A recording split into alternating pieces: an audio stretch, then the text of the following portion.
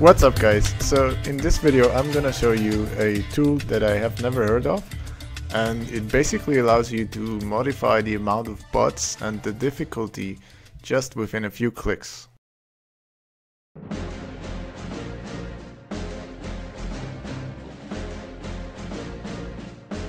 Before I show you how to download and install it, I just wanted to say a big thank you to uh, Stanistic. He's also a YouTuber, check out his channel. He's the guy who reached out to me and actually showed me this tool. So big thank you, you're awesome. So what you're gonna do is you're gonna copy the link that is in the description below, paste it in your browser and basically download this from moddb.com. Here click save file and uh, as soon as you've downloaded it you drag it over to the bf2 folder. The directory link is below as well and uh, that's it.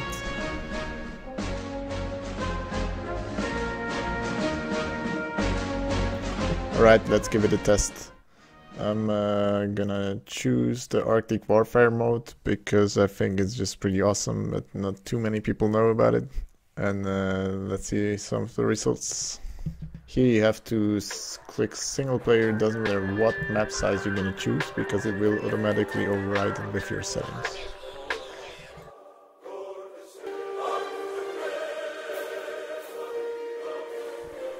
So yeah, as you can see it works. Uh, these are now 128 bots and I'm just gonna now show you some gameplay of the Arctic Warfare mode maps. I hope you enjoyed this video because that's it for today.